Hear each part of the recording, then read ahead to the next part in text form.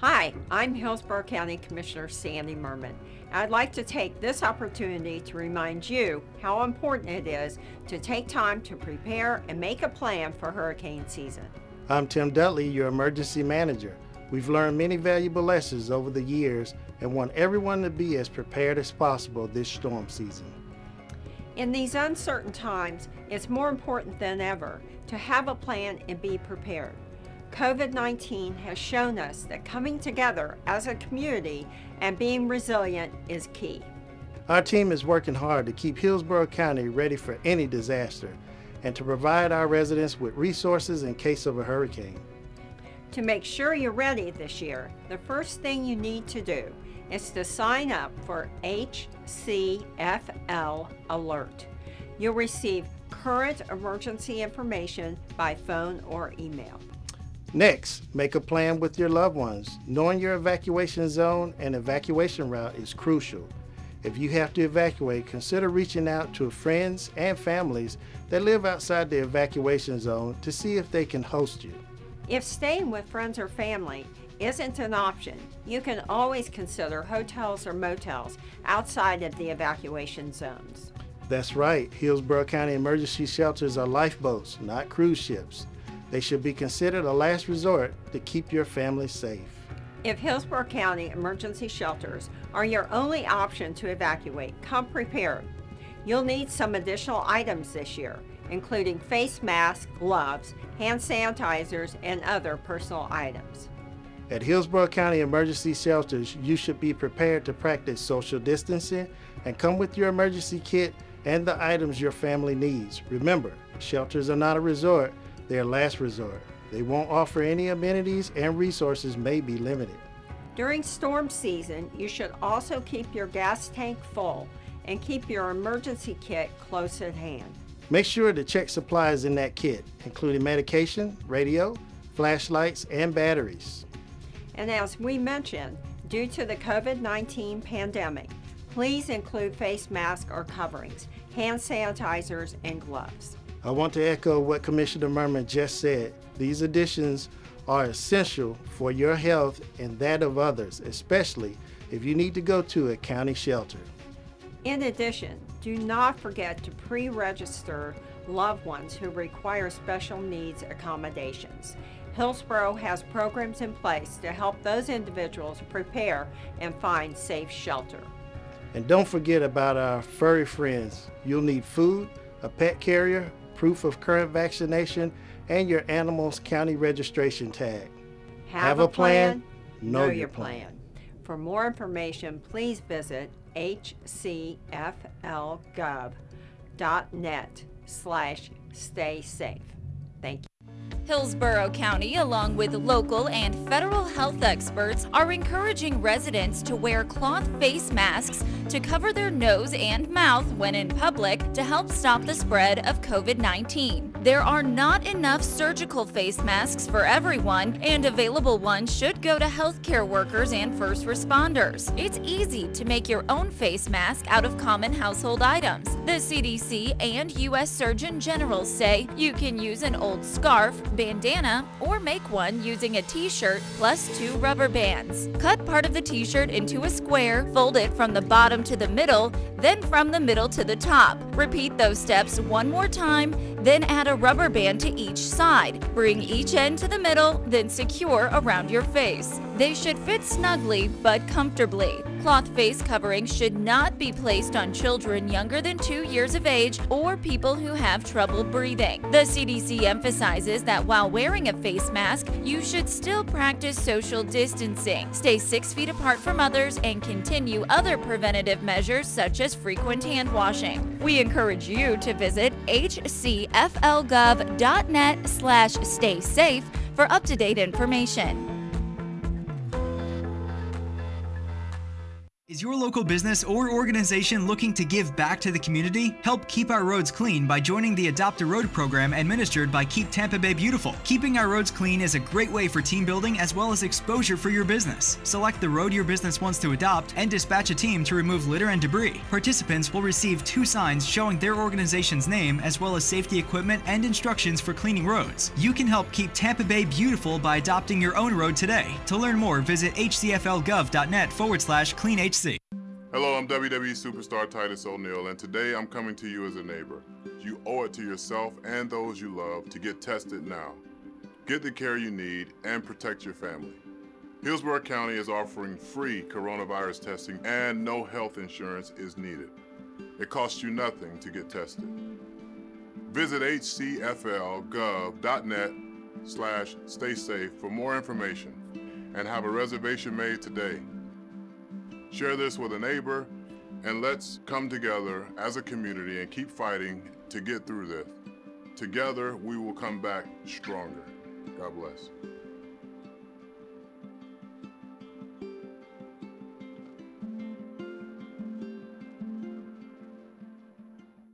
So let's say that Tim here was returning to his vehicle only to find it missing. He may think it was either stolen or towed. Let's not worry too much, Tim. Hillsborough County wants you to know the rules and regulations should you find yourself stuck in this unfortunate situation. Here are a few rules and tips you should know. Rule number one permission to tow. Towing services need permission to tow from private property and must post signs with telephone numbers saying that the trespassing vehicles will be removed. If your vehicle is missing, look for a sign and call the number. Rule number two communication. As soon as your vehicle is delivered to the local towing facility, towing services must notify local law enforcement within a 30 minute time frame. And they must return calls from vehicle owners within one hour. Helpful tip number one Law enforcement can help motorists determine if their vehicle has been towed. If you don't see a posted sign, call the authorities on the non emergency line. Rule number three retrieving your vehicle during a tow. Most people are unaware that you can still retrieve your vehicle while connected to the tow truck. For a drop fee of no more than half the towing rate, the tow truck operator must release the vehicle to its owner. When it comes to payment, tow truck drivers must accept the following debit, cash, cashier's check, or money order. Rule number four personal property. If the owner is unable to pay the drop fee and their vehicle is in the hands of the towing company, owners still have the right to retrieve personal property from their vehicle. Helpful tip number two. Having a registration and title in your name will make it easier to recover your vehicle. Tow companies will not hand over the vehicle if you are not the registered owner, unless you have an original notarized affidavit signed by the registered vehicle owner. Remember, Hillsborough County is here to help you.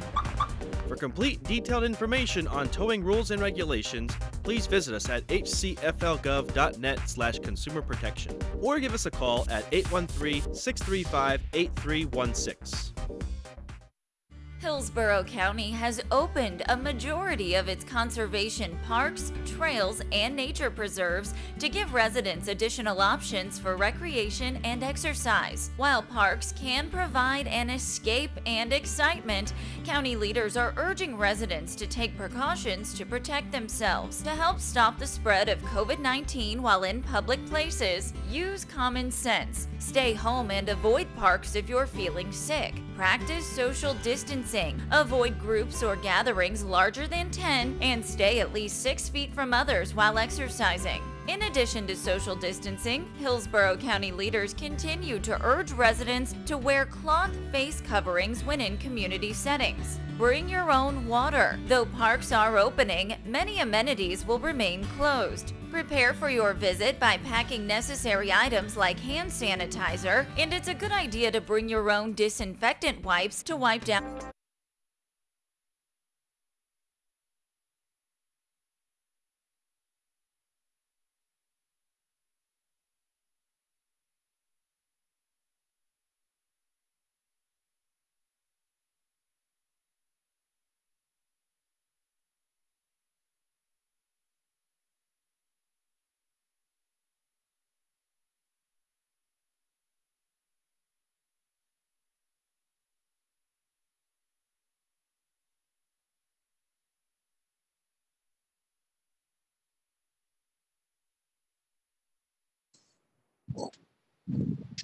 Hello and welcome to the Hillsborough County Historic Resources Review Board meeting. Uh, today is Tuesday, August 18th. It's approximately 3 p.m. We are meeting for our regularly scheduled meeting. Uh, we're meeting here digitally uh, via Zoom, and so we'll go ahead and get started with our agenda. Uh, first things first, I would like to check with uh, Nancy. Nancy, do we have a quorum for today's meeting? Yes, you do, Mr. Hellman. Perfect. Uh, thank you very much. Uh, and everybody's here, and so we're, we're good to go. So we will move right along with our regular scheduled meeting items. Uh, first things first is we will move um, or look at the minutes. So if everybody, uh, all of our uh, board members, please review the minutes from our July meeting. Um, and if there are any questions or comments at this time for the minutes, we'll take them now. Otherwise, if there are no questions or comments, we're looking for a motion for approval. So moved. Second. Okay, we had, uh, and who made that motion? Charlie Nelson. We did, and then uh, Curtis second. Uh, Any other comments or discussion about the minutes? Okay, hearing none. All those in favor of approving the minutes as presented, say aye. Aye. Aye. Any opposed, say nay. Okay, minutes are approved as presented.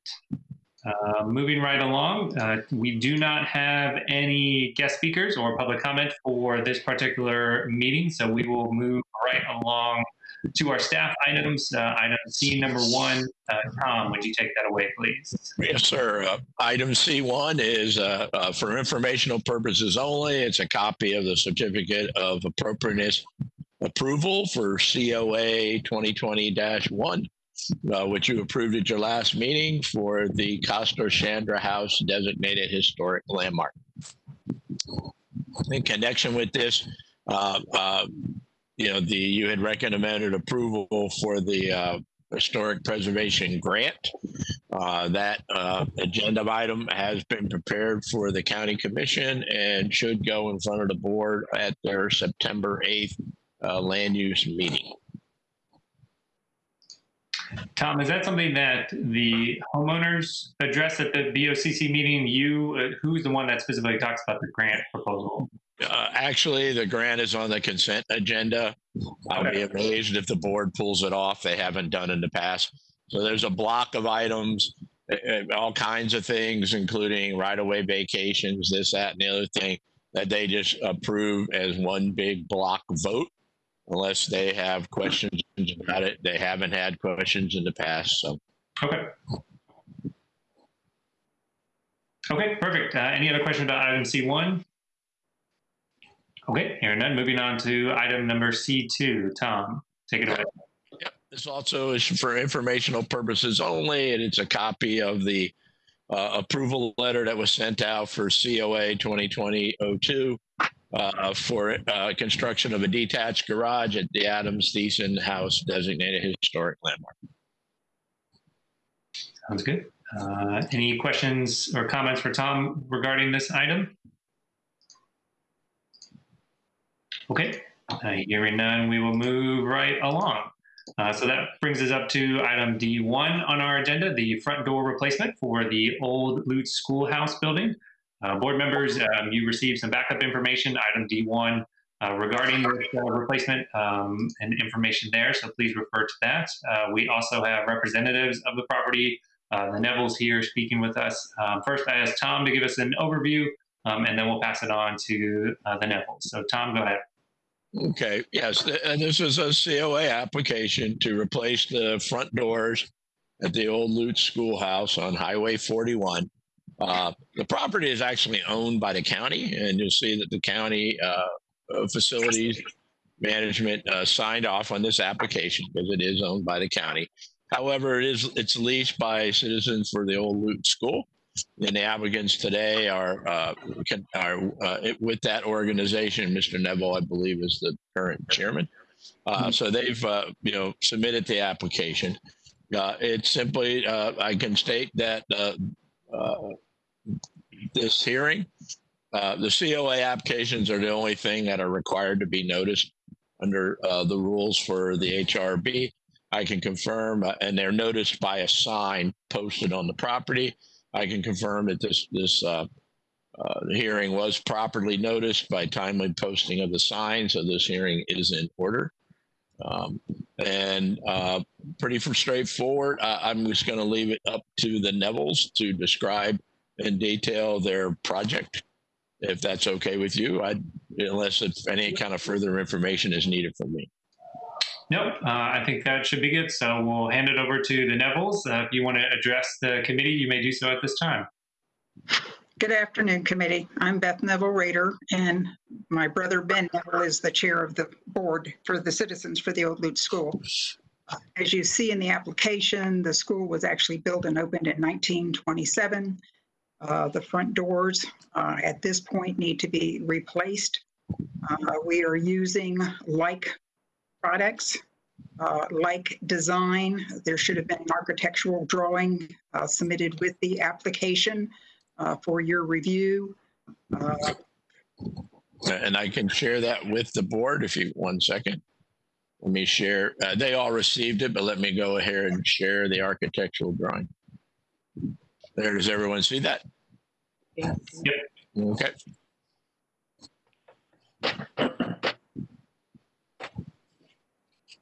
Okay. Uh, and basically, the doors are reaching their end of life and functionability. So it's strictly a, a replacement repair. And yes, he's go up a little bit. You'll see the doors that are be replacing it. Let me, uh, Liz, I think we're at the end. Nine, nine windows, two panels on the bottom, white wood. Yep, there we go. Yep. Everyone see the picture of the existing doors? Yeah. Yeah, there we go. That's what's there now. Okay. Sounds good. Uh, so at, at this time, uh, board members, if you have any questions for the Nevilles, uh, now would be that time. This is Becky. Um, I'm guessing that those aren't probably the original doors from 1927. I don't know if you would have any past history on that, but I mean, they may look very similar to what was there originally, but it seems highly unlikely that they would have lasted that long. Yeah, that's, that's a true statement. We actually have drawings from the county. Uh, The last time they did major work on this project was in 1997. And the front doors shown on those uh, architectural and building drawings are these doors. So I don't know what was there uh, back in 1927. We don't have records for that. I just thought maybe old, old pictures may show it. Uh, and I assume you'll be painting them white, or what color are you going to be painting the, the exterior of the door? Will be white. Well, I appreciate that you're trying to match it as close as possible. That's a real, you know, advantageous look to keep it as close as possible. Thank you. Okay. Uh, any other questions or comments uh, for the Nevilles or for Tom regarding this? This, I have a, just a, a comment. Um, it doesn't have to do with anything of our approval or disapproval or acceptance. But um, I noticed that the bid was from the ninth, uh, November of 2019. Are they going to stay good on your bid for you? No. No, they won't. The doors have already been purchased. We were going to use that as an in-kind with the historical preservation grant, and we failed to get the application uh, completed in a timely manner. So the only thing we have to go back out for is the, the actual work. The labor. Okay. Sounds good. Uh, since this is a, a, COA, Certificate of Appropriateness, uh, this committee does have the authority to approve or deny that. Um, and so that's what this committee will be looking for, a motion uh, either way regarding approval or denial of the application as presented. Um, so if anybody would like to make a motion for or against, and that's what we're looking for now.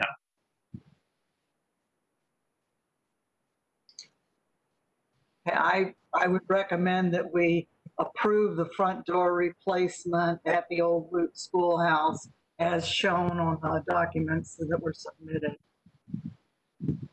I'll second that. Okay, we have a motion on the floor from Becky, a second from Charles. Uh, Becky, uh, any uh, rationale with that motion?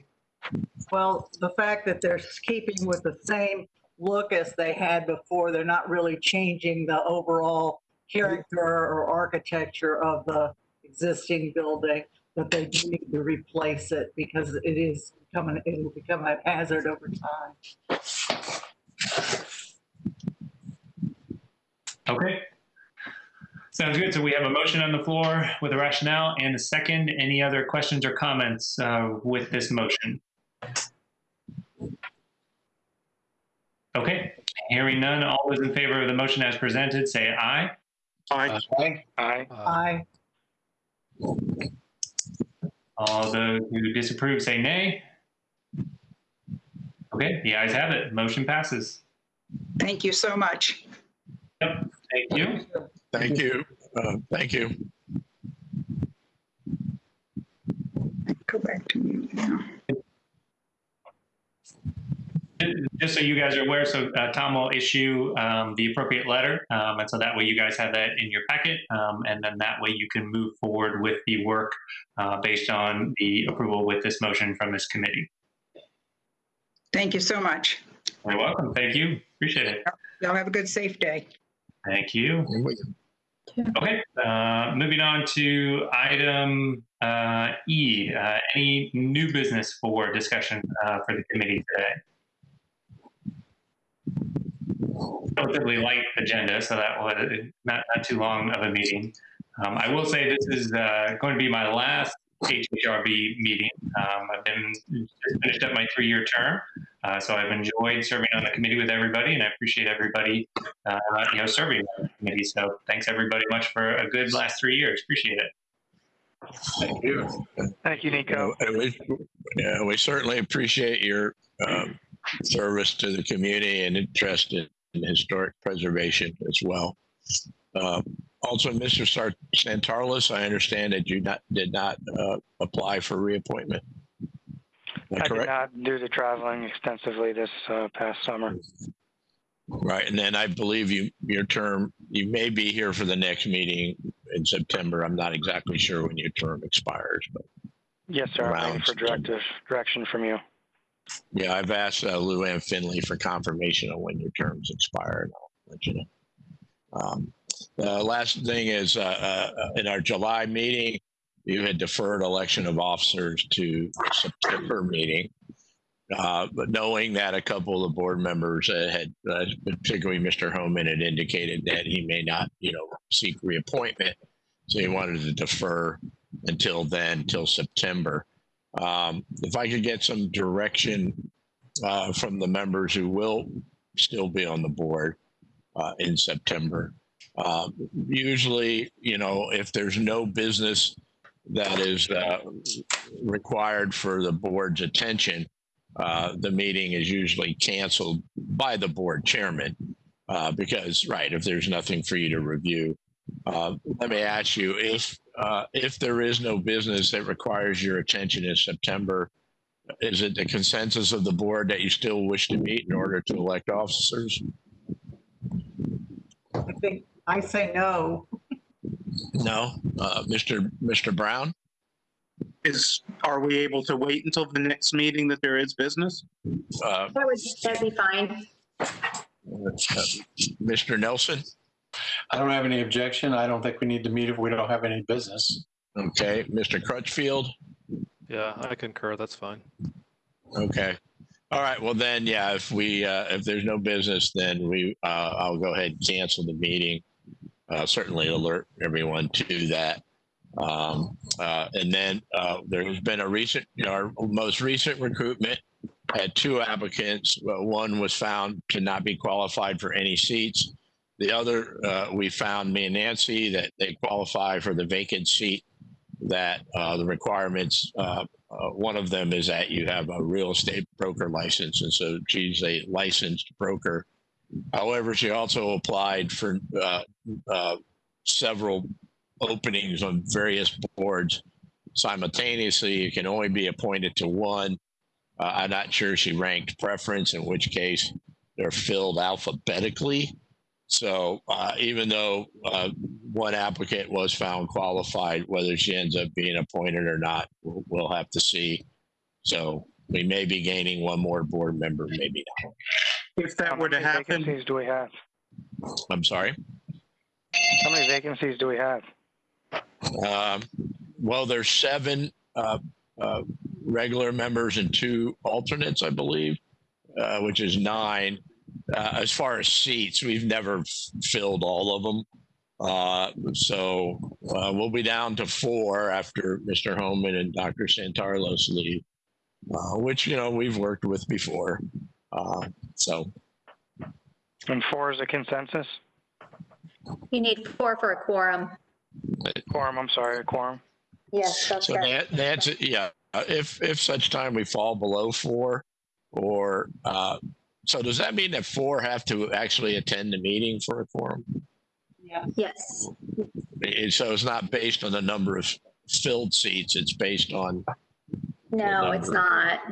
okay, It's not. all right. um, if that appointment were to occur, Mhm. would it be before the September meeting or the October meeting? I, I'd have to, give me one second, let me check my emails from Luann, if you can wait one second, please. Uh, Give me one second to check those. Your whole screen's showing us all, still up, Tom. Oh, oh, I'm still sharing? Oh, okay. I'll stop sharing. There we go. Sorry. All right. Okay. Uh, one second.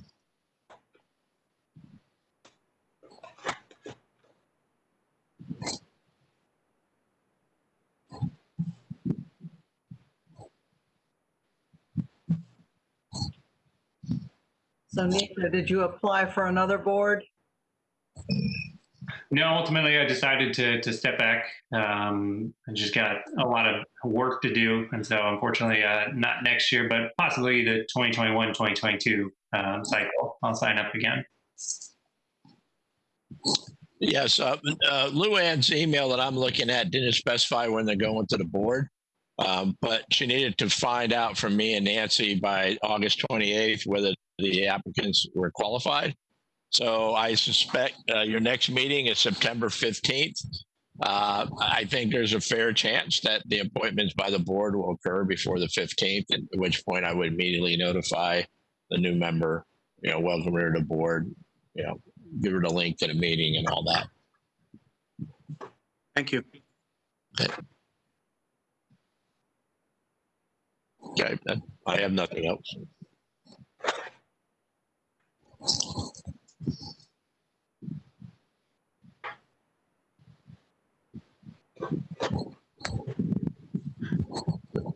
Oh, also, yes, Mr. Sartell, this- this may be your last meeting as well. We definitely would like to express our gratitude for you serving on the board as well as with, uh, yeah, and your service to the community.